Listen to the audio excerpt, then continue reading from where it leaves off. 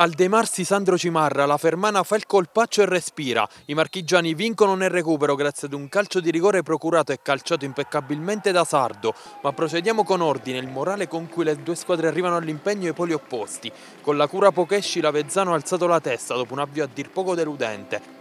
10 punti negli ultimi 5 match hanno permesso ai biancoverdi di tirarsi fuori dalla zona play-out. Dall'altra parte la Fermana, fanalino di coda del girone F ad un bivio. Bolzan cerca una vittoria che manca dal 22 settembre per salvare la panchina. Per quanto riguarda le scelte, pochi cambi nei marsicani rispetto al derby di Notaresco. Solito 3-5-2 adottato da Pochesci che si affida alla coppia Ferrari-De Silvestro per dare movimento all'attacco. Canarini con il tridente offensivo, Valsecchi e Ferretti agiscono alle spalle di Bianchimano, dirige Gaetano Milone di Barcellona Pozzo di Gotto. La Fermana vuole comandare il gioco, il possesso porta il primo pericolo al decimo, i biancoverdi sbagliano l'uscita, il pallone finisce sui piedi di Ferretti che con un diagonale colpisce la parte interna del palo. La reattività di Cultraro fa sì che la sfera non oltrepassi la linea. Il rischio corso sembra scuotere l'Avezzano che va ad un passo dal vantaggio con una punizione ben pennellata da Verna. Dopo appena 60 secondi sull'altro versante altro errore in uscita.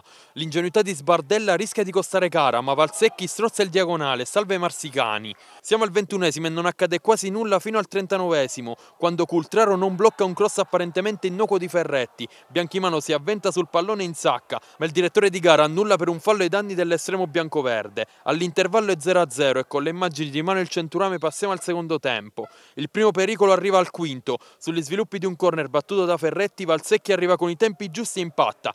La sfera si spegne oltre il palo lontano.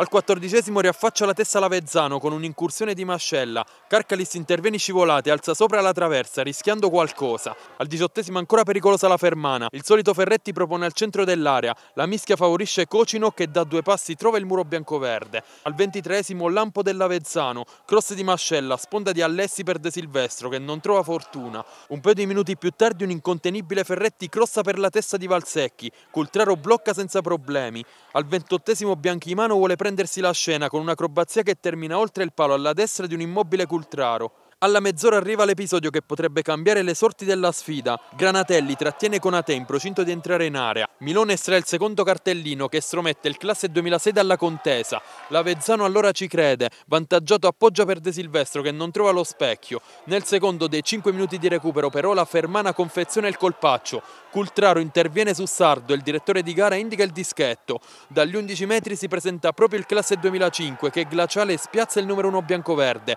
regalando i suoi tre punti punti pesantissimi.